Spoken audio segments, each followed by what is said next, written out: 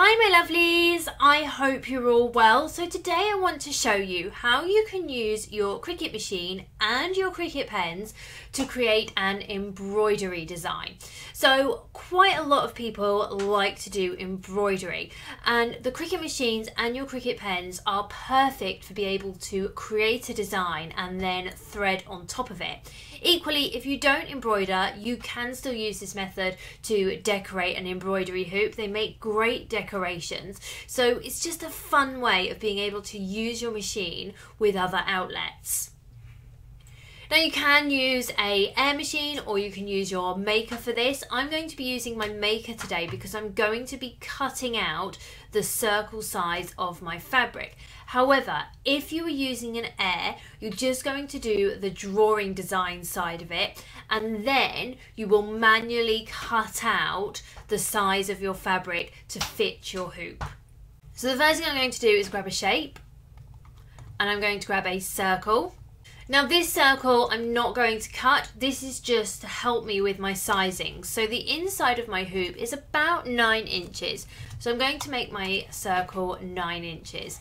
I'm then going to duplicate that circle I'm going to add two inches onto it and that is the circle that I am going to cut out. Now, as I say, if you were using an air, you just wouldn't do this part because you wouldn't be cutting out the circle. You will just be doing your sizing and your design. I also want to change the colour of my circle, so I'm going to go to line type, it's still set to cut, and I'm just going to change it to white. And then I can come to my layers panel and I'm just going to hide it. The next thing I want to do is go to images. And you can see I've already typed in unicorn. There are a lot of beautiful unicorn images to choose from. So I'm just going to scroll down and choose which one I want to work with. I still feel like we haven't got over Christmas, but we are heading towards Easter. So we will choose the Easter Bunny unicorn. So I'm just going to bring him over to my circle and I'm just going to size him how I want. And of course, if I want to change his size, I can unlock him and I can then come in and transform it. Once I'm happy with the sizing, I can then just get rid of that circle. I'm then going to click on my unicorn and I'm going to change the line type from a cut to a draw. And then I'm going to ungroup. The reason I'm ungrouping is I'm going to use different colours. So First of all, if I was doing it as a decoration, I would want to use different colours anyway to make it nice and bright. And secondly, if I was using it to embroider with, the different colours are obviously going to work better with the different colour threads. So as close to a colour as you can get to your thread is perfect. Obviously, we're going to be using fine tip pens for this as well. So let's just click on the horn and next to our line type, we've got our colour box and I'm going to just choose a colour. Now you may not, for example, have candy corn. You may not have that exact colour, but you will have a colour similar to that. You do not need to use the same colour pen as you choose in Design Space. The reason you're choosing the different colours is A, so that the machine knows that you want different colour pens, and B, it's just to give you a guide of the colours you're going to use, but you do not have to use the exact same colours. The machine will only know that you've put a pen in. It won't know whether it's red, green, yellow or pink. So we can then change it to candy corn. I'm then going to click on one of my flowers and again I can come up and I can just change the colour. Let's do a purple. I can then click on my other flower and again I'm just going to come in and change each of the colour layers. Once I'm happy and I'm going to highlight everything and I'm going to group it back together. So if you were using an air at this point you would go to make it. However, I am using my maker and I'm going to use my maker to cut my fabric out with the rotary blade. So I'm just going to bring my circle back, just going to work out where I want it to sit. I'm going to highlight it and then I'm going to attach. So it will then draw my image using my different colour pens and it will then cut out my circle using my rotary blade. We can then go to make it. You can see it is a cut and a draw. Now if you were using an air you would want to come in and manually place your image at this point in the middle of your mat so that you've got plenty of room for your fabric and it would just say draw.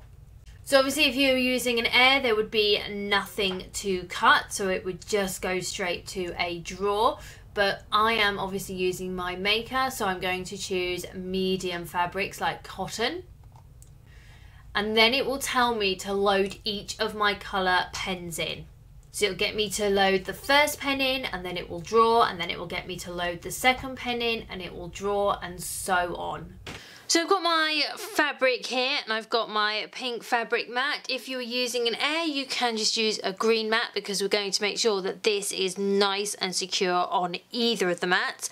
I'm going to come in with my rotary cutter and I'm just going to gently cut my fabric to the size of my mat.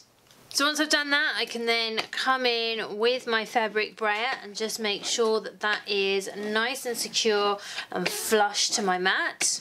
I've then got some masking tape and I'm going to mask all the way around my mat so it's covering my mat and my fabric. The reason for this is that when you're using the pens they will drag across the fabric and you want to make sure that your fabric does not move. Once you've masked all the way around, you can then use your fabric brayer again, just to make sure that your fabric has remained nice and flat and flush to your mat, and also just to secure your masking tape. As I said, you do want to make sure that you are using fine tip pens for this.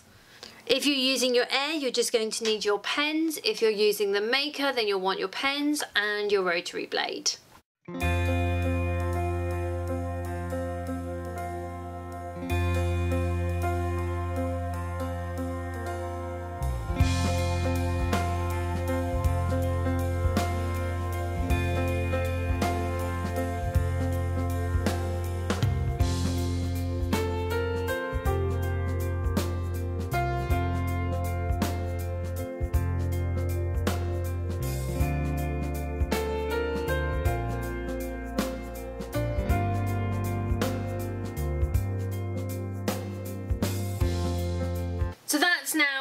Drawn. Now if we were using our air, we would just remove our masking tape, we would take the entire piece of fabric off, and then you would place it in your hoop and you would manually cut it. We've used the maker today, so it's already cut our circle for us. The first thing I'm going to do is remove the masking tape.